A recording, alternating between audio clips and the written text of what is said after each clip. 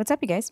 It's time for another Late Night Thoughts solo podcast. I think this is actually really good timing for this because I just posted a blog called Why Am I So Awkward? So that makes sense that we're having a solo moment tonight.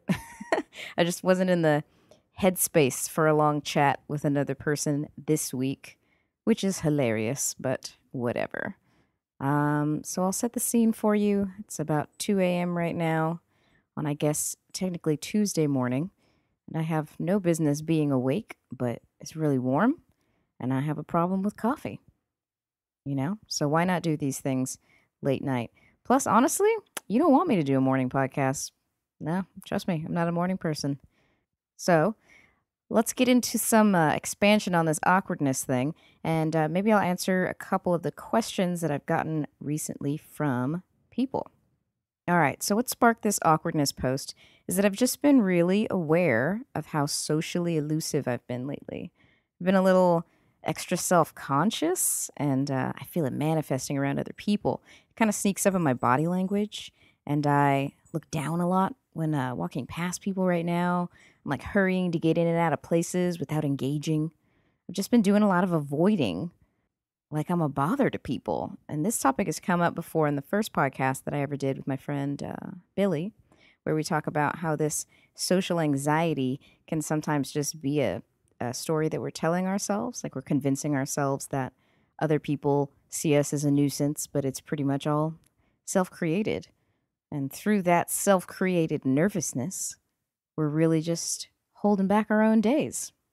I mean, like I'm and I'm not intrinsically awkward. So really when I say to myself, why am I so awkward? I should be saying, why do you feel so awkward? Cuz it's just a feeling passing through and not my identity, you know.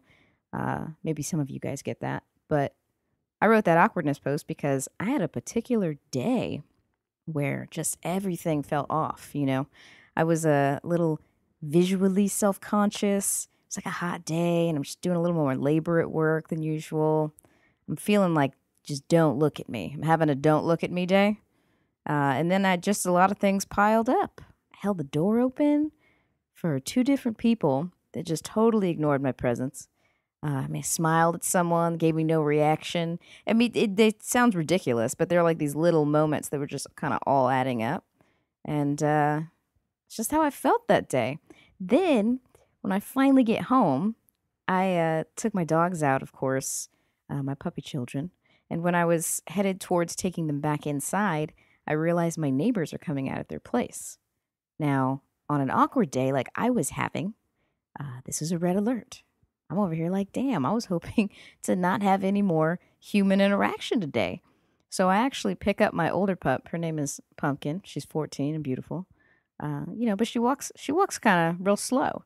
She's in no rush, and she wants to sniff all of the blades of grass. And in reality, we could all learn something from her. But on this day, I needed speed. So I picked her up in the hopes that me and my other little chihuahua companion over here could make a hasty reentry into my apartment. Well, this was not to be. So my neighbor, and you know, a lovely dude, always nice and pleasant. I just have no reason to avoid this man. He smiles at me and says, Hey, how's it going? Now, here's a part I didn't mention I've got earbuds in. I'm actually listening to a podcast. So I've got words flying around my ears already. And the only reason I know that's what he said is because I can read the man's lips. So I answer, I'm great. How are you? Not even fully realizing that I'm just not going to hear his response. Then he says something like prolonged, like he answers and says more. Do I hear it? No, because I'm like deaf via podcast over here. So I just try to smile real nice and I just keep beelining for my home. But I'm also reading his face and I think he asked me something. Like, I don't know, guys. I could have just. I could have just removed my earbuds and said, Sorry, what'd you say? Did I do that? No, I didn't. Instead, I just mini panicked and thought, just say something nice. So I said, You guys have a good night. And I walked away. But as I turned, I tell you, something about his facial expression told me that I'd, I'd missed something in that in that combo. Like I'd, I'd venture to say that he asked me a question and I said, You guys have a good night. So I know it's dumb, you know, but I felt bad. That day just got me thinking about why I've been behaving in such an awkward way here and there lately. Too much self consciousness, you know? Gotta let it go. It's doing me no good, and maybe it's uh, doing you no good. And you can relate to just feeling off every once in a while. Uh, have you ever been have you ever been out shopping and you see someone you know that you don't want to have small talk with and you literally pull like an about face moonwalk situation to be unseen so that you can avoid it? Yeah, I did one of those too. I did one just I just ducked out of there as quickly as I could. So, I guess that's a form of like a mini mini social anxiety. Sometimes, you know, on the bad days you kind of see it, on the good days you don't, or I don't feel it at all. Just kind of a toss up.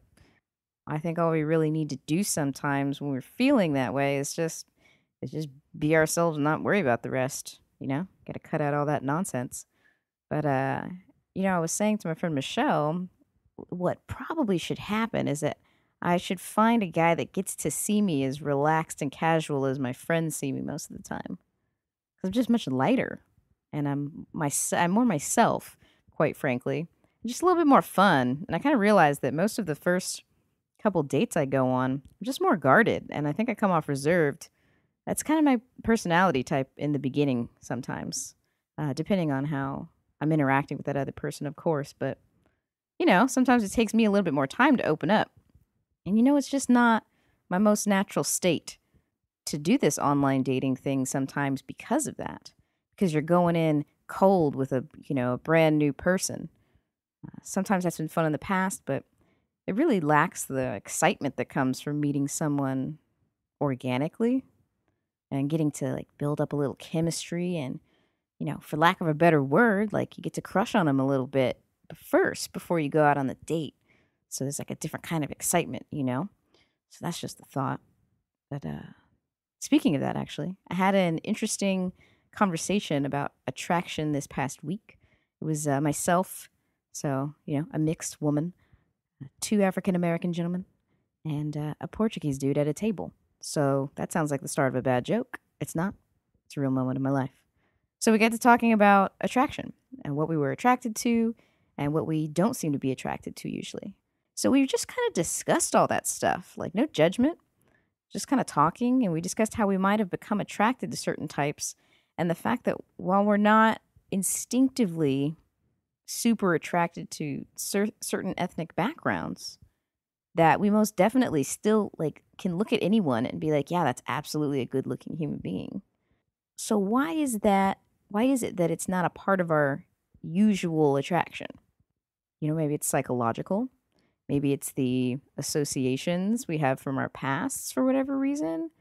I've read a little bit about it, and it says that our attraction is based heavily on what was appealing to us in our teenage years.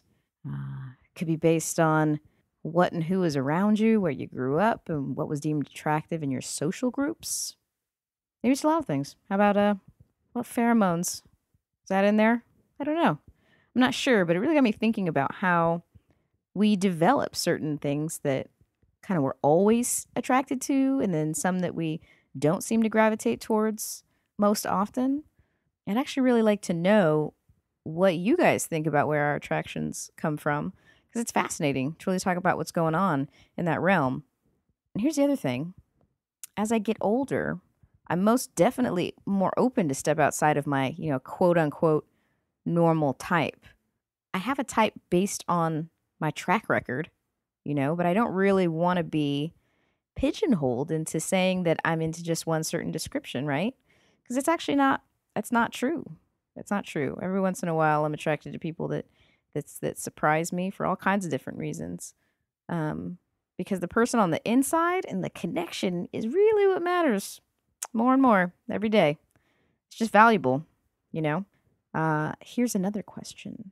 Someone asked me this week to talk about what my childhood was like. Um, I'll give you some sort of a basic rundown. I'm from San Diego. I was technically raised an only child, but I do have a number of half siblings. Went to a Spanish immersion school, so puedo hablar español.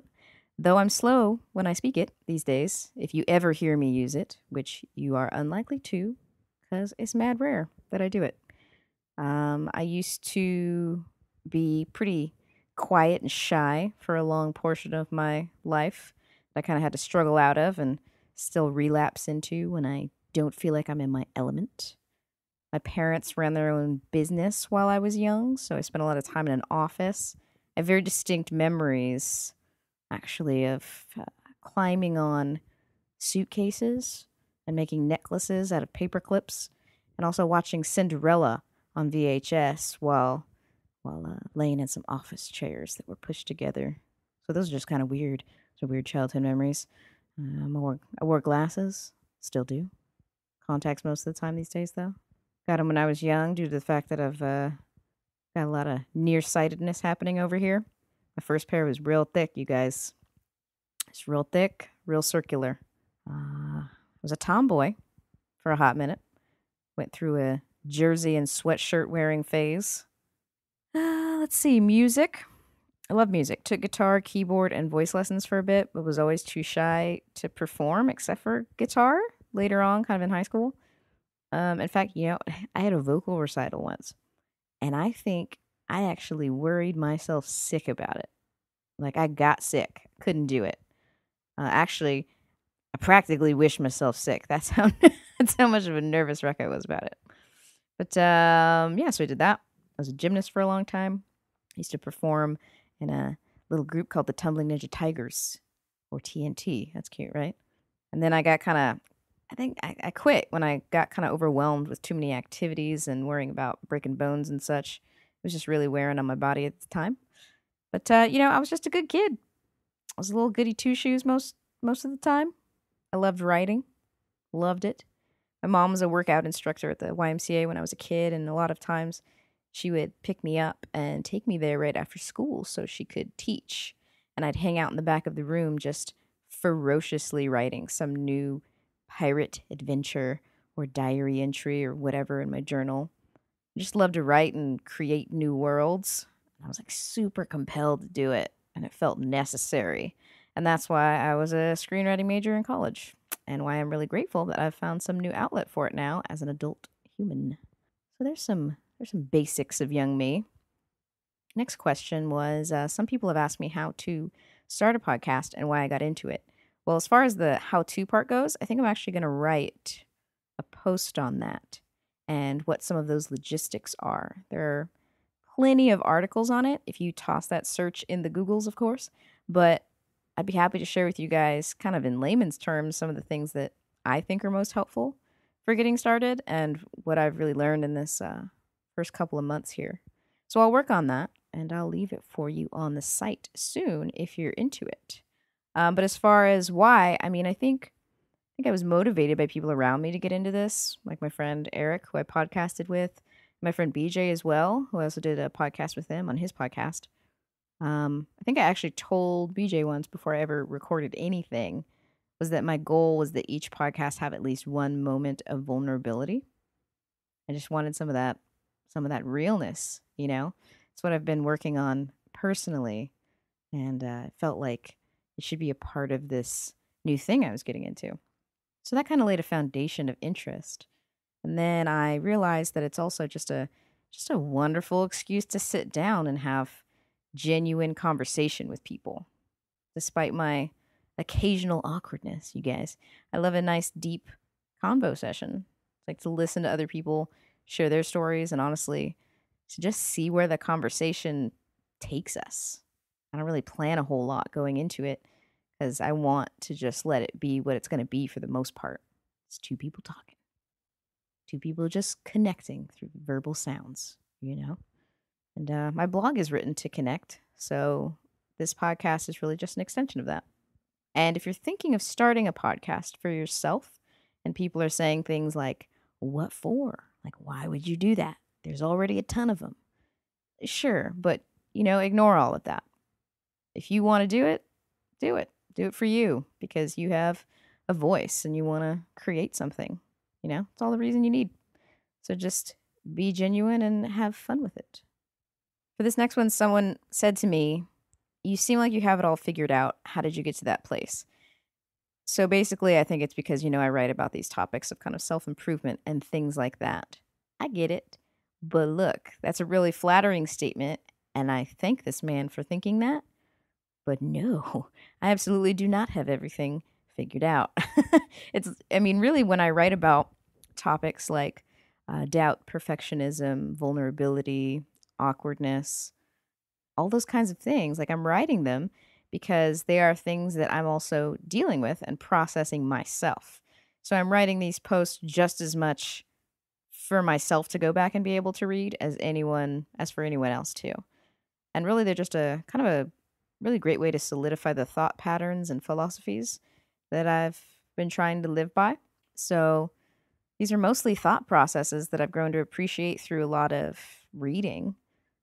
Philosophy and self improvement based books can be amazingly helpful in keeping your mind right. Then, through those new thought patterns, you really just sit down for some honest self reflection and ask yourself, what do I need to work on? And you take it from there. You know?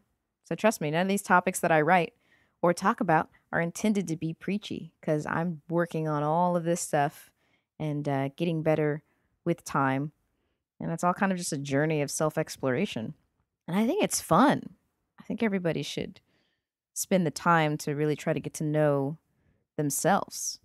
You know that Myers Briggs personality test? Uh, if you don't, get out there and take it online because it's pretty interesting. But anyway, I'm an INFP, which translates to me having an introverted, intuitive, feeling, perceptive personality. Um, in a nutshell, in a little tiny nutshell, it makes me sensitive, fascinated by truth and the discovery of, of kind of self. So, you know, I might as well be on this quest for progress and trying to make myself better and then relate to as many people as I can along the way. You know, the writing is a cool way to connect with people that might be thinking about these things. And now it's expanded into this podcast form too. So that's great. And uh, long story short, I absolutely don't have it all figured out, but I think it's all worth discussing. And I've definitely found some philosophies like uh, Stoicism and, and Taoism actually that I think can be incredibly beneficial.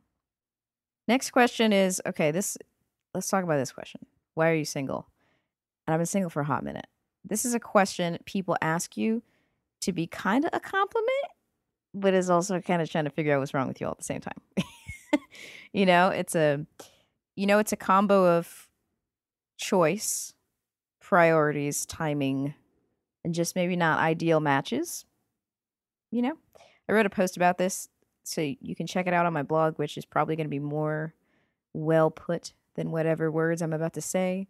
But uh, the updated answer, I guess, is that I'm just looking for some real connection. I want to find somebody that I don't feel the need to be ideal around, and that's willing to take some time to get to know each other.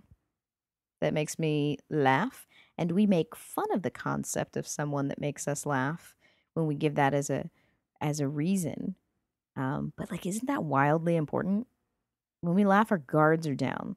Like we're youthful and uh, we recapture some of that innocence and keeps things from getting you know too serious in a bad way uh, and that person automatically has a way of making us feel good that's just so accessible.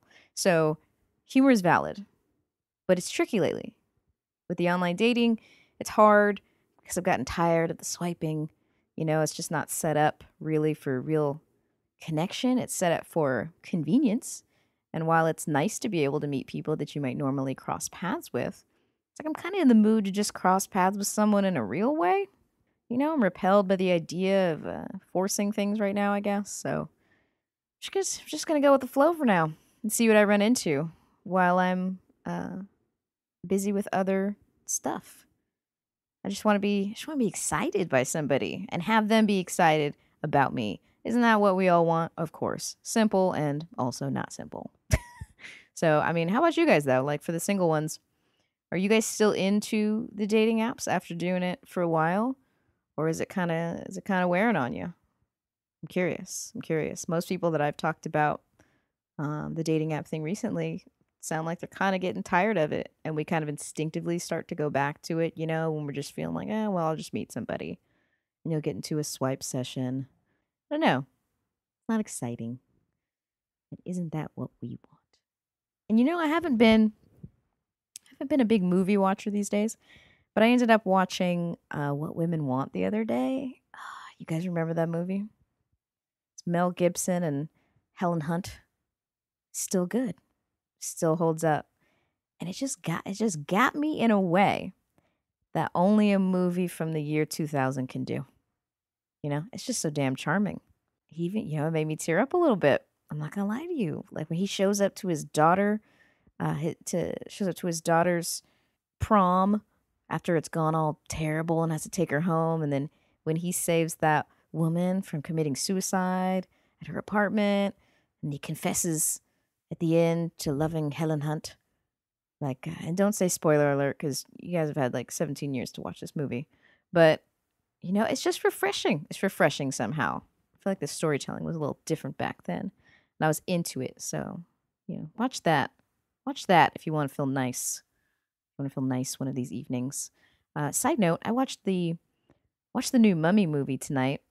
Tom Cruise is in it, and they worked in Doctor Jekyll and Mister Hyde into the storyline. I mean, no, thank you. Like the original still completely holds up. It completely holds up. Go back and watch The Mummy and tell me it's not still amazing. Plus, Brendan Fraser in his prime. And you guys know, know how I feel about some Brendan Fraser.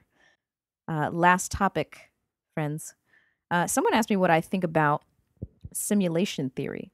So, for those that haven't heard of that, it's basically the idea that we are currently living in a simulation, that life is pretty much just an incredible video game. Now, I think it's a I think it's a fascinating idea. We're seeing pretty impressive leaps in technology. And there's talk that we could eventually create something that's indistinguishable from reality. So, who's to say that we haven't done it already? Who's to say what reality is at that point? If you're having experiences that move you and feel real and visceral at a certain point, and that maybe change you as a person. Who's to say what reality is? Something that's tangible, I suppose? Hey, I won't shut down the idea because how would I know if we were in one? I wouldn't.